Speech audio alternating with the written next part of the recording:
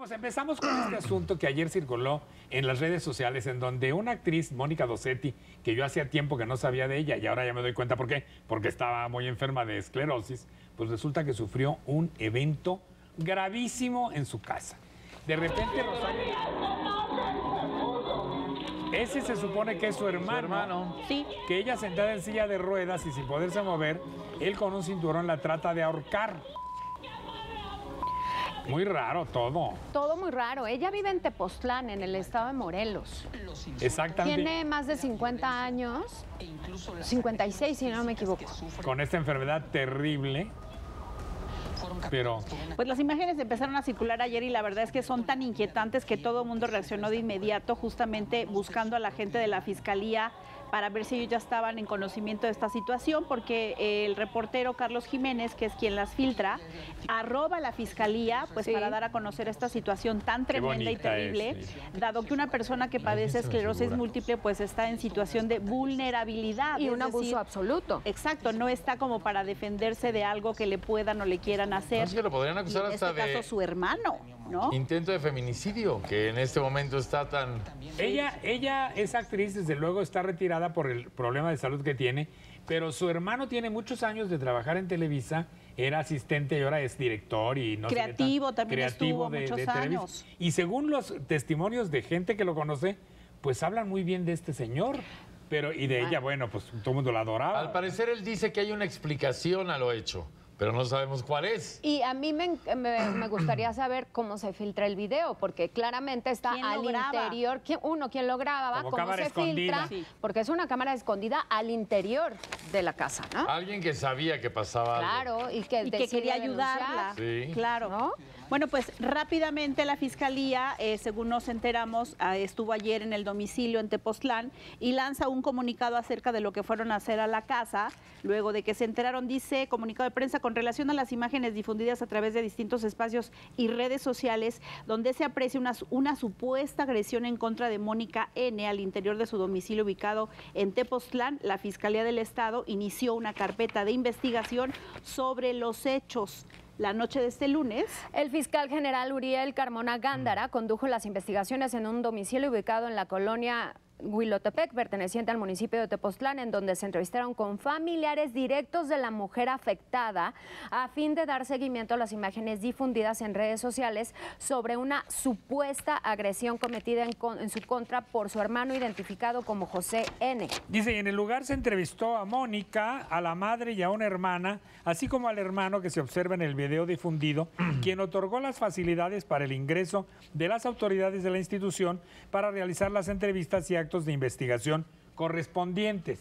Con los resultados de las investigaciones periciales recabados se habrá de determinar si se realiza la judicialización de la carpeta de investigación iniciada a partir del conocimiento de los hechos a través de la difusión digital. En tanto, la Fiscalía General del Estado de Morelos continúa con la integración correspondiente. Y tenemos imágenes de el, el acceso que tuvo la Fiscalía de Morelos en la casa de, de estas personas, pues para... lo que encontraron, fotos. porque pues primeramente tendrían que saber en qué condiciones de vida está ella, si es un lugar digno, si es un lugar limpio, si ella está cuidada, como se dice, eh, y pues estas son algunas de las imágenes que ellos compartieron a la prensa ya. O sea, ahí se Esta mañana se ve, se ve bien, ¿no? Sí. Esta mañana el Pues son, fiscal... dos, son dos imágenes. Sí, pues sí, muy pocas. Eh, dio una conferencia de otro asunto y al final la prensa le preguntó sobre esta eh, situación tan inquietante. Esto de Laura Zapata, de Laura-. Pues es que hablamos con Laura para saber por qué ella eh, de inmediato, como buena activista que es en muchos casos, se puso en contacto con C4 Jiménez, que es Carlos Jiménez, el reportero que filtró las imágenes, habló con él para estar al de Juanma pendiente. Jiménez. no de. Sí. hermano. Sí. Yo el otro día le pregunté y me dijo Ah, que bueno. no. Bueno, Claro que sí. hermano o no. Eh, Laura es la primera que nos dice, fíjense, que no quieren denunciar. No Pues quieren. es que es muy difícil situación. No, no es. Bueno, pero es que está en riesgo tu vida. Pues Y sí. la- si ni ella ni su mamá quieren denunciarlo, pues entonces seguirán viviendo su infierno. En varias ocasiones muchas fiscalías no han metido la mano y acaban muertas las víctimas que denunciaron. Pero bueno, pues aquí ya el ojo está echado, ya se hizo público y pues ahora sí que hay que esperar a ver qué es lo que quiere ella y qué es lo que quiere su mamá.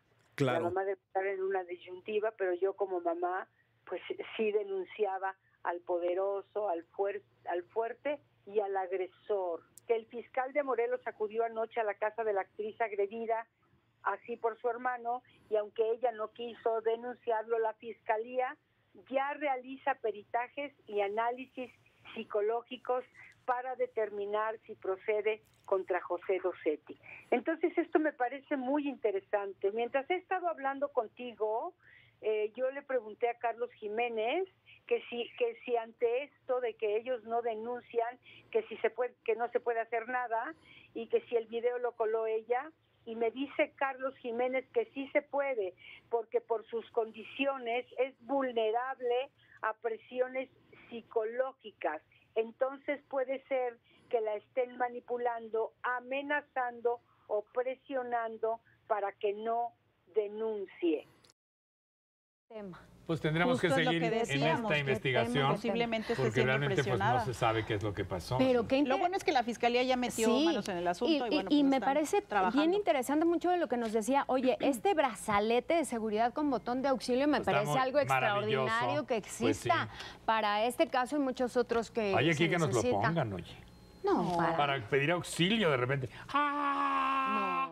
Vamos a una nota que tenemos para ustedes en donde nuestro reportero Roberto Hernández estuvo haciendo guardia afuera de la casa de Mónica Dossetti. Tras darse a conocer el impactante video en el que se ve a José Dossetti a punto de estrangular a su hermana Mónica Dossetti, nuestras cámaras acudieron al domicilio donde ocurrieron los hechos, ubicado en Tepoztlán, Morelos, para confirmar que tal como lo informó este miércoles la Fiscalía de Morelos, el agresor ya fue sacado de la casa y tiene prohibido acercarse a la actriz. Esta es la casa en la que una cámara escondida colocada por su vecino José Cabello destapó la indignante situación y donde ayer encontramos efectivamente presencia policíaca, aunque nadie quiso confirmar ningún detalle del caso. Oiga, la señorita Mónica. No se el señor José. Esta mujer, quien creemos pudiera ser la madre de Mónica, prefirió hacer caso omiso a nuestro llamado, al igual que esta otra persona que optó por ingresar nuevamente a la casa. Disculpe, ¿está la señorita Mónica? Hola o algún familiar nada más que nos dé razón. Disculpe, señora. ¿No está la señorita Mónica? Amigo.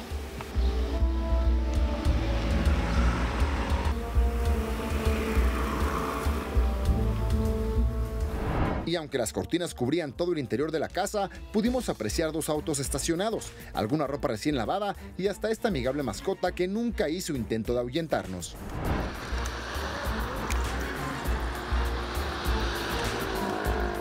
Mónica, ¿nos regalas un minuto? Venimos de TV Azteca. ¿Estás bien? No queremos incomodarte, solo saber si estás bien. Minutos más tarde, una mujer que por cierto guarda un enorme parecido con Mónica se hizo presente en el lugar. Aproximadamente 15 minutos después, volvió para hablar con los elementos de seguridad pública municipal, aunque una vez que intentamos abordarla, arrancó su vehículo a toda velocidad. Disculpe, ¿nos puede dar información al respecto de Mónica? Señorita, rapidito nada más, ¿es familiar de ella? Solo queremos saber si, está, bien, está bien Vamos, vamos, El informe de la Fiscalía dio a conocer ayer que Mónica Dossetti cuenta ya con medidas de protección para salvaguardar su integridad física y psicológica y que contará con vigilancia permanente mientras la investigación sigue abierta, en espera de resultados periciales y la intervención de trabajo social. Para Ventaneando con información de Roberto Hernández. Este programa de televisión se llama Ventaneando y que el que no cae resbala. Ventaneando, ventaneando.